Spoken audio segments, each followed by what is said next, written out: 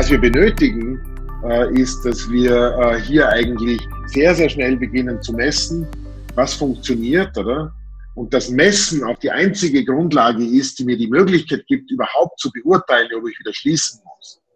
Ähm, wenn ich nicht messe, habe ich keinen vernünftigen Unbiased Performance Indikator für quasi meine, für meine, für meine Leistung, meine politische Leistung, oder? In dieser Krise, oder? Und dann ist es auch das, das Schließen wiederum ein reiner Akt, ich sage es jetzt einmal, der, ähm, äh, der ich will nicht sagen Akt des, der Willkür oder wird so wahrgenommen zumindest, sondern es ist, ein, ist de facto eine sehr, sehr biased Decision unter unvollständiger Datenlage und wird auch nicht mehr so mitgetragen werden. Ähm, das sehen wir aus, aus der Praxis. Wir arbeiten mit sehr, sehr vielen CEOs. Oder? Gute Regierungen, gute CEOs wollen sich messen lassen. Oder?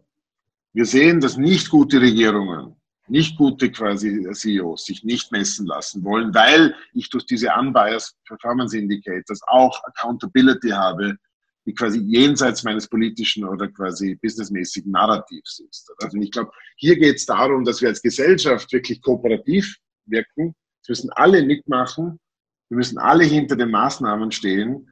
Äh, und wir müssen hier dementsprechend auch eine Grundlage dafür schaffen, dass diese Maßnahmen auch von meiner Mutter, die 88 ist, evaluiert werden kann und sagen, ja, die gehen zurück. Oder?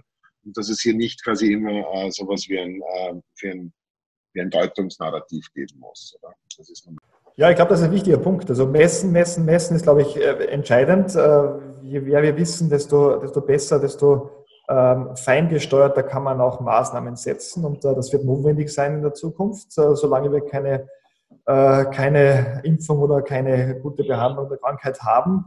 Äh, wir haben einen Vorteil, deswegen wäre ich nicht ganz so pessimistisch äh, wie der Gerhard.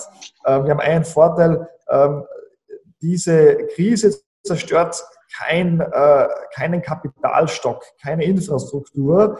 sie zerstört möglicherweise keine physische Infrastruktur, sie zerstört psychische Infrastruktur. Ja, und, und da, glaube ich, muss, da muss man soziale, da muss man ansetzen. Äh, das ist der entscheidende Punkt. Äh, darüber werden wir vielleicht auch noch in den nächsten Folgen ausführlicher sprechen, wenn es um Vertrauen und Kooperation geht.